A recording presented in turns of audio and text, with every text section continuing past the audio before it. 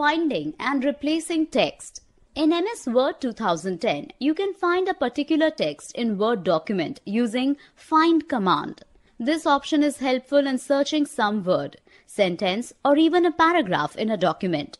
To find some word in your document, here open your document Myself. The steps are as follows.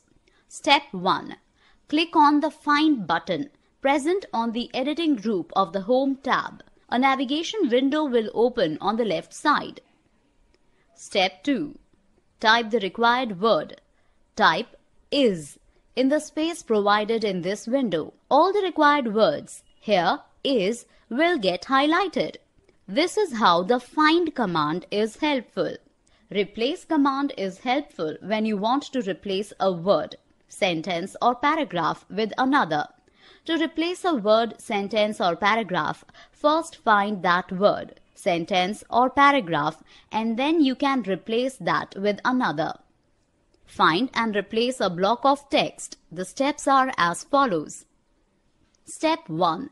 Click on the Replace button present below the Find button on the editing group of the Home tab. Find and Replace dialog box will appear.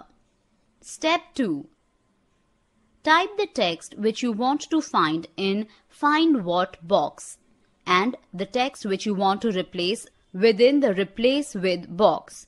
Here in our Word document, Myself, we will find the word Vipul and replace it with the word Abhijit. Step 3. Now you can either replace all Vipul with your name using Replace All option or just the very first Vipul can be replaced by using Replace option. Find Next button is used to find the next occurrence of the word Vipul. After replacing the required word, you will get the document myself as shown.